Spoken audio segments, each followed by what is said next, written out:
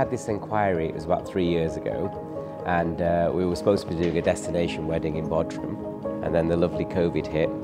Um, so it really started off from a destination and then it ended up as a staycation in the UK.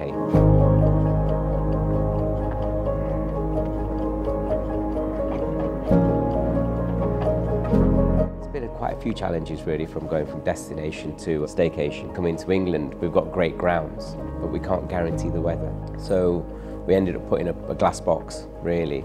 So it felt like the wedding was outdoor, but it's really obviously enclosed.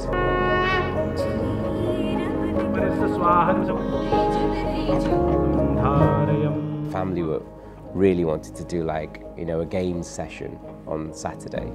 So we said, why don't we take that a little bit further then? And why don't we get a professional company in to actually do real five-a-side football? Let's play.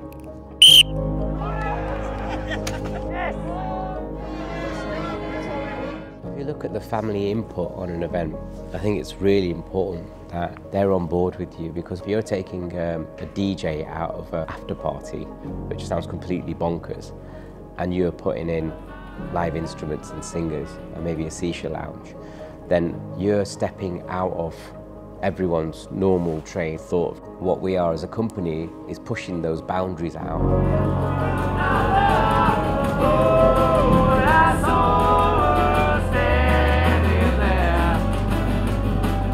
I always say to people, you get someone who's like me, like logistics and planning and architectural, but then you've got Shitul who's so smart with sort of like design, colours and fashion. So you're sort of getting two planners in one with Silver Fox events. The minimum amount of space really, get the plastic up. So like this distance, when you're doing multiple events, once you're doing event number one, you've just got to make sure that your team are on it with event number two and then maybe three.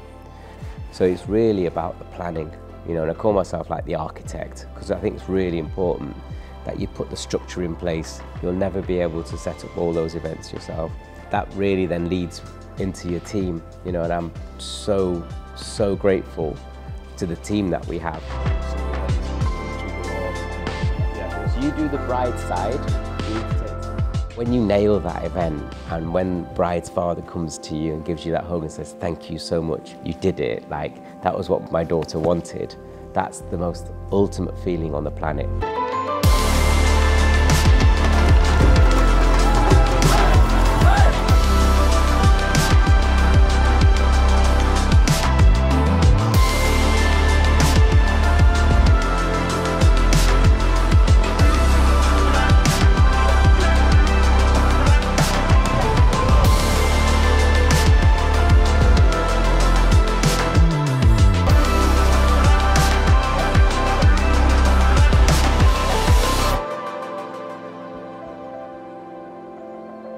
If you get that feeling, then you should stay in the game. And if you don't, then don't bother.